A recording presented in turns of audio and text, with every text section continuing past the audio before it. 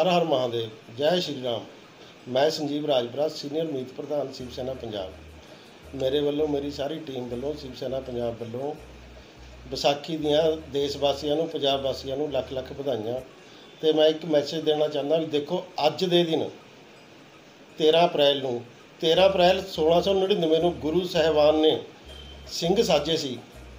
ਆਕੀ ਰਹੇ ਨਾ ਕੋਈ, ਉਹਨਾਂ ਪਿੱਛੇ ਸਿੰਘ ਸਾਜੇ ਸੀ ਵੀ ਦੇਸ਼ ਦਾ ਸਾਡੇ ਦਾ ਦੁਸ਼ਮਣ ਨਾ ਕੋਈ ਰਹੇ। ਜਿਹੜੇ ਅੱਜ ਦੇਸ਼ ਨੂੰ ਤੋੜਨ ਦੀਆਂ ਗੱਲਾਂ ਕਰ ਰਹੇ ਆ, ਉਹਨਾਂ ਵਾਸਤੇ ਇਹ ਗੱਲ ਉਹਨਾਂ ਪਰ ਗਿਰਦੀ ਆ, ਉਹ ਫੋਲੋ ਕਰਨੀ ਇਸ ਗੱਲ ਨੂੰ। ਅੱਜ ਪੰਜਾਬ ਦੇ ਵਿੱਚ ਰੌਲਾ ਪਾ ਰਹੇ ਆ, ਅਮਰਤਪਾਲ ਵਰਗਿਆਂ ਨੇ ਰੌਲਾ ਪਾਇਆ, ਬਹੁਤ ਲੋਕਾਂ ਨੂੰ ਲੜਾਉਣ ਵਾਸਤੇ, ਸਿੱਖਾਂ ਨੂੰ ਲੜਾਉਣ ਵਾਸਤੇ।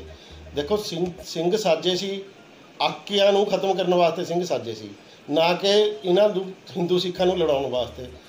ਮੈਂ ਬੇਨਤੀ ਕਰਦਾ ਸਾਰੇ ਪੰਜਾਬ ਦੇ ਸਿੱਖਾਂ ਨੂੰ ਵੀ ਹਿੰਦੂਆਂ ਨੂੰ ਵੀ ਵੀ ਕੋਈ ਵੱਖਰੀ ਕੌਮ ਨਹੀਂ ਸਾਰੀ ਇੱਕੇ ਕੌਮ ਆ ਰਲ ਮਿਲ ਕੇ ਰਹੋ। ਅਸੀਂ ਵੀ ਸੰਦੇਸ਼ ਦਿੰਦੇ ਹਾਂ ਰਲ ਮਿਲ ਕੇ ਰਹਿਣਾ ਚਾਹੀਦਾ ਹੈ।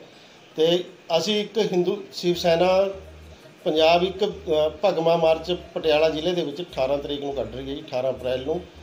ਮੈਂ ਸਾਰੇ ਸੰਗਠਨਾਂ ਨੂੰ ਬੇਨਤੀ ਕਰਦਾ ਵੀ ਉਹਦੇ 'ਚ ਹਿੰਦੂ ਸਿੱਖ ਜੋ ਵੀ ਸਾਰੇ ਹੋਰ ਵੀ ਸੰਗਠਨ ਸਾਰੇ ਵੱਧ ਚੜ ਕੇ ਹਿੱਸਾ ਲੈਣ ਅਤੇ ਇਸ ਨੂੰ ਇੱਕ ਮੰਚ ਤੇ ਇਕੱਠੇ ਹੋ ਕੇ ਪੰਜਾਬ ਬਚਾਉਣ ਦੀਆਂ ਗੱਲਾਂ ਕਰੀਏ ਤੇ ਆਪਣੇ ਧਰਮ ਬਚਾਉਣ ਦੀਆਂ ਗੱਲਾਂ ਕਰੀਏ।